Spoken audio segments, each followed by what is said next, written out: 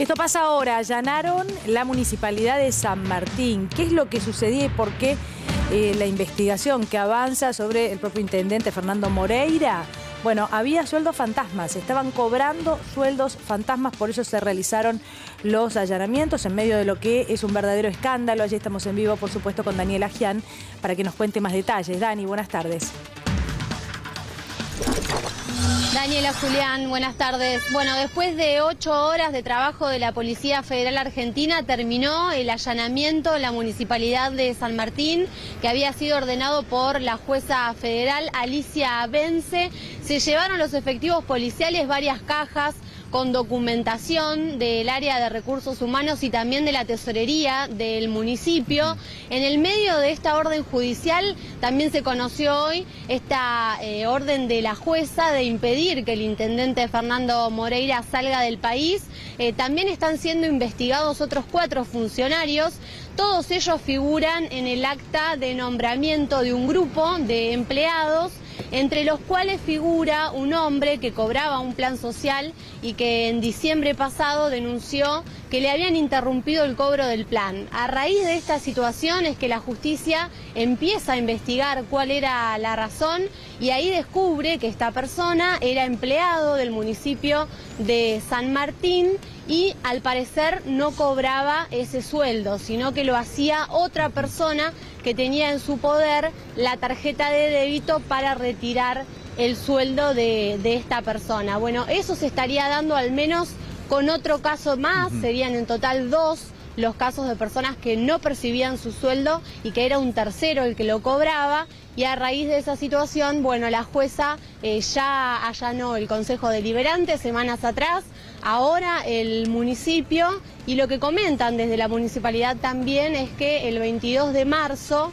el propio municipio quiso presentarse como querellante en la justicia, algo que fue impedido en la propia causa y ahora quedó a disposición para que se pueda seguir investigando. Qué es lo que finalmente eh, sucedió, qué es lo que está pasando con este grupo de empleados que figuran todos en, un nombramiento que lleva la firma del intendente Moreira, pero que algunos de ellos dicen desconocer haber sido empleados de este lugar. Gravísimo, ¿eh? gravísimo. Obviamente se trata de una investigación que está, que está en curso, por eso el, allanamiento ¿eh? personal de este, la municipalidad que este, cobraba este, sueldos y que no sabía ni que trabajaba en la municipalidad. ¿no? Estamos este, hablando de titularidades, de, en este caso de tarjetas de débito, Leo. Sí, tarjetas de débito, cuentas figuradas a nombre de dos personas. Lo que están buscando es saber quién cobraba ese dinero. La imputación mm. contra el intendente y contra las otras cuatro personas tiene un par de reglas, por eso no les han permitido presentarse como creyentes. Esas reglas incluyen la presentación entre el 1 y el 5 de cada mes en los tribunales es decir, estar a derecho todo el tiempo. ¿Por qué? Porque entiende la justicia y por eso la investigación es que el haber puesto la firma en ese decreto que hace el pase o el nombramiento de 13 personas eh, tiene que ver con que deberían conocer o tener por lo menos eh, un currículum de quiénes son esas personas, qué lugar ocupan y en todo caso los datos, de dónde salieron los datos para generar esas cuentas bancarias y ese pago de dinero, que ya hablan de sueldos de unos 300 mil pesos por mes durante un plazo por lo menos de 6 a 7 meses. Bueno, quién los cobró y dónde está ese dinero es lo que busca saber la justicia federal. Eh, hubo un evento, yo no sé si ustedes tienen información, antes, hace algunos días, en el Consejo Deliberante también, ¿no? un allanamiento, una investigación, este, y uno de los imputados era el titular del Consejo Deliberante, que creo que si no me equivoco, este, terminó, falleció, falleció, ¿no? una semana después. Sí, el primer allanamiento se dio en el Consejo Deliberante y después... Sí, Dani. Sí, Dani, te escuchamos. Sí, no, exactamente. Quería confirmar también la información porque formaba parte de, la investigación. Se allanó el Consejo Deliberante.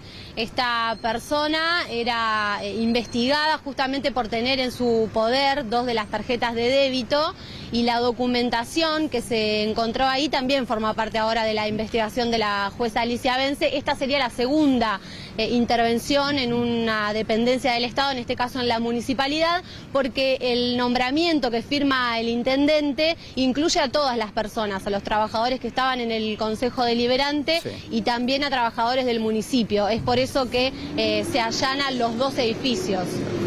Eh, es- a ver si te entendí bien, Dani. eh, entre estas 13 personas o los 13 casos, ¿habría integrantes del Consejo y también del municipio? Claro, lo que Ah. dicen desde la municipalidad es que en este grupo de 13 personas había dos que estaban en el Consejo Deliberante claro. y que justamente era el presidente del Consejo Deliberante, ya fallecido, el que estaba implicado también en esa situación. Bueno, Bueno, una, una, mecánica que obviamente hay que, hay que investigar, ¿no? Este, en buena hora que, que la justicia este, avance en este tema y por supuesto, bueno, algunas cuestiones que vamos a ir desarrollando. Muchísimas gracias, Daniel, allí.